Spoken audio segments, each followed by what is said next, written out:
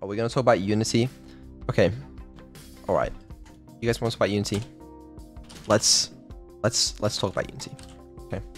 As I have always said and have always maintained, I recognize no other game engine than Scratch. I've never met this man in my life. Scratch is, uh, as you can see here from this screenshot, um, Scratch is the game engine of choice for rendering Neuro. Um, it's what we we use, we've always used, and it's what we've always said. It's always been part of this channel, really, to always praise Scratch.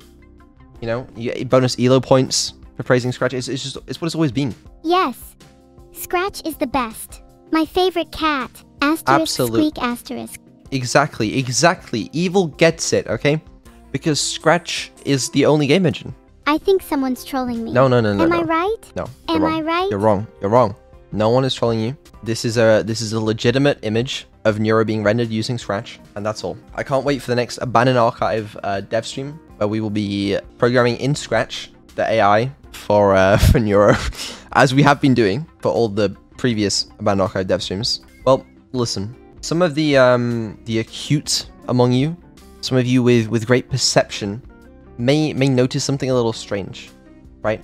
That um it currently looks as though to, to the naked eye it looks as though there is the unity icon in my taskbar. Now let me let me tell you let me address the the allegations first and foremost. That is not unity. That you see is actually scratch but i made a, a windows shortcut and put the unity icon on it for the sole purpose of, of making fun of unity. It's it's not actually unity.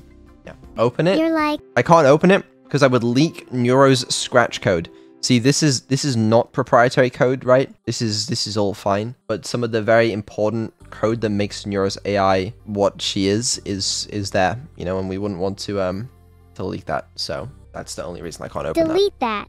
Huh? There you go. Can just right click link and show the properties. Uh, I don't know Just what that click would copy do. link address and then paste the link It- somewhere like Reddit. It doesn't it doesn't do that, unfortunately.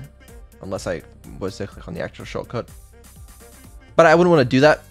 But anyway, it's not really the point of the uh, the thing anyway. We, I think we can just move on from that one. Um, we can all agree.